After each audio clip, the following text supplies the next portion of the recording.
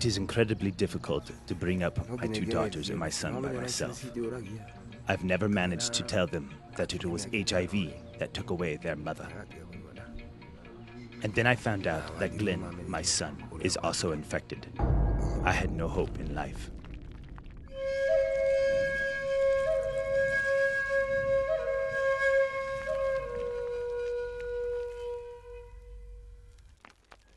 We've had a big challenge with um, what I would call uh, an epidemic. It's, it's a monster, HIV and AIDS, which has devastated the lives of so many people.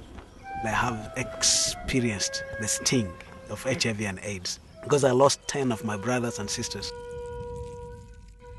I consider that lack of knowledge is the main problem because not many people are able to access information related to HIV and AIDS. When my wife fell ill, I knew nothing about HIV related issues, such as caring for someone infected. I only knew that HIV was a death sentence for my wife and my son. The other thing is, it's a very costly disease to treat. Because looking at the poverty situation, an average family in the village, they're able to earn less than a dollar in a month. I had so many challenges. I myself was weak, and my children fell sick often, and I did not have money for medication. It was really hard. There are so many children who may never experience the love of a father and a mother because they've been left without parents just because of HIV and AIDS. When I learned that my wife had passed on, I felt crushed. At that moment, life was terrible for me. And I thought, what will I do with my children? I thought I would buy poison and we'd all take the poison and die because I did not know where to turn to. When you go to places which have really been affected by HIV and AIDS, you cannot move a step without shedding tears. And so that is why Compassion brought in all the interventions possible to give hope to these people so that they can have chance to, to live. When I got Kabare, that doctor, when he tells me that I have AIDS, my body becomes unhappy. But when compassion came, our body and our mind become happy.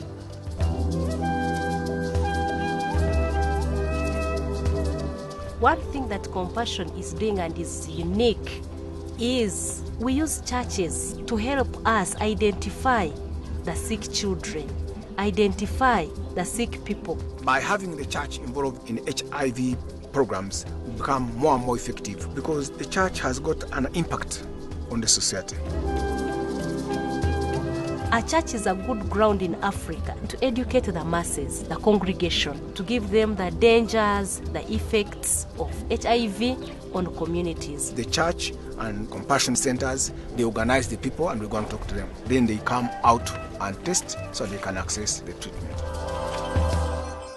They gather us in large groups in the community men, women, and children. Those who have HIV and those who do not. They give us counseling and awareness. Compassion is actually doing a great work in trying to educate the community about HIV and AIDS and then to provide opportunity for drugs, for treatment. Compassion has supported us with foods, with mosquito nets to keep away malaria, and most importantly, drugs to treat HIV that we might live. The day I found out that we were infected with HIV was the darkest day of my life. But through compassion, ARVs were made available to me and to my children. Providing antiretroviral therapy for children can offer decades of life. They could be able to grow and live near normal lifespans.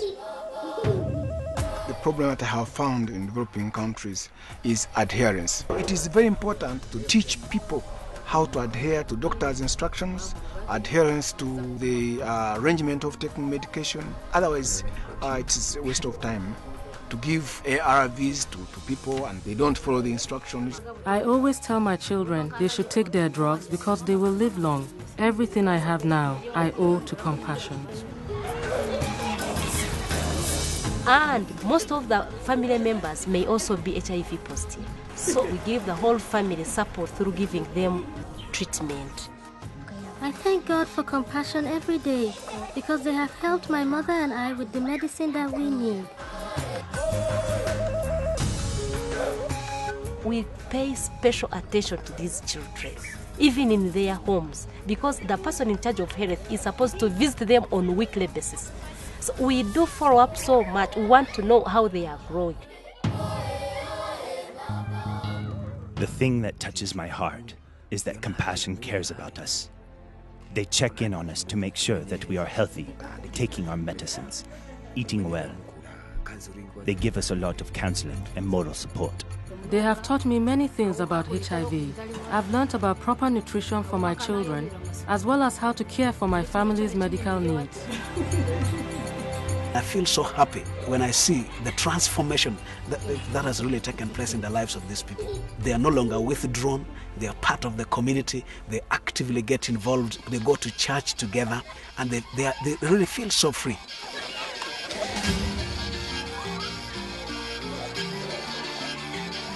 I am what I am because of compassion.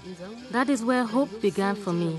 Now I know that me and my children will live a long time until God calls us.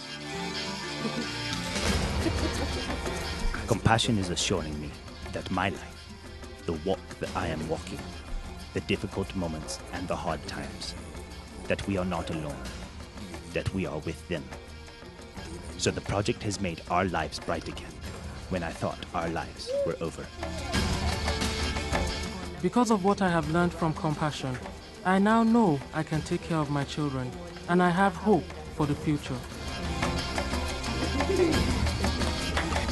I just pray for compassion, that they will be blessed with more resources so that more people like me and Glenn can be given hope to live and to live well.